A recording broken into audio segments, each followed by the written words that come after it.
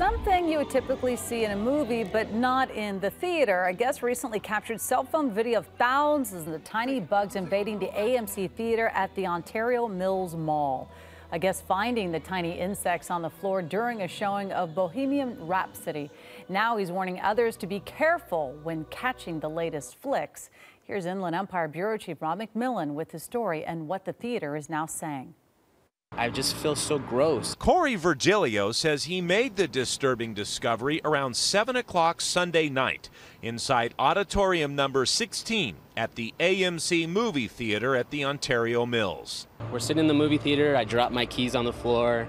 I didn't want to ruin the movie for anybody, so I said, you know what, I'll just get it after the movie. He says he pulled out his cell phone and then got down on his hands and knees to look for his keys beneath the seats. As I look with my cell phone light to try to find my keys, I zoom in and I see something moving. As I zoom in closer and closer, I find easily seen with my eye, at least 15, 20 bugs. Virgilio says he immediately notified the movie theater manager and then posted this video on Facebook. Like, it looks like a little black pen. Virgilio says something needs to be done about these kinds of filthy conditions. They need to rip out the carpet. Are these bugs coming from underneath the carpet?